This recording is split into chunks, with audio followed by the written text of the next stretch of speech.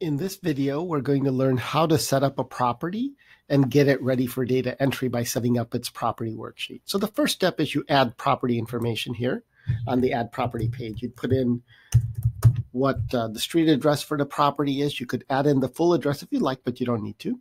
Then you pick the property type.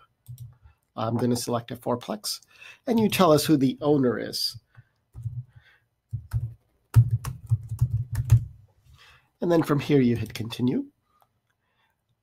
On this next screen, all you do is just check mark the few income and expense items that are happening regularly on this property. Since it's a fourplex, the system's already assuming you're probably receiving rent on a monthly basis from four tenants. All you do is kind of go through the rest of these sections and pick the few things happening regularly. So if there's like a regular garbage collection bill you're taking care of, you would check mark that. You can always add your own items. So if there's something else you care about under utilities that's not listed here, you just say add new item and you can add it yourself.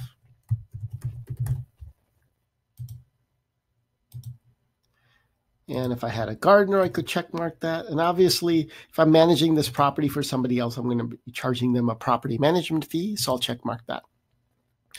Once you've set up all the common items, all you do is go to the worksheet.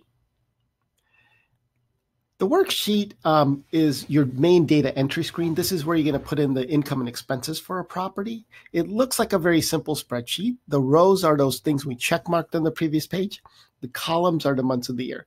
It's very easy to navigate. So if I want to go back in time, I mouse over this arrow and go back in time. If I want to go forward, I go like this and go forward. When you want to add data, it's as simple as put, clicking the cell. Like let's say I want to add my gardener expense for this month. I'll just click on that cell put in the amount, hit the return key.